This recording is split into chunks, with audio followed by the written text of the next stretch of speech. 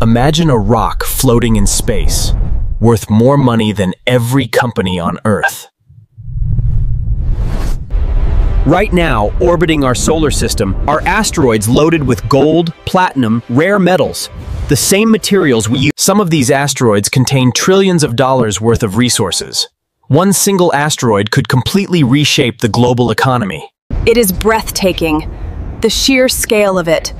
We are ready to begin the harvest. This changes everything. Space agencies and private companies, even billionaires, are already planning missions. Not for exploration, but for extraction.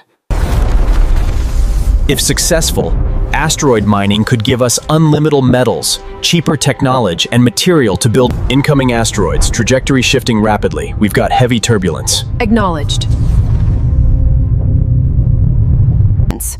So the question is no longer if we will mine the stars, but who will own the future of space?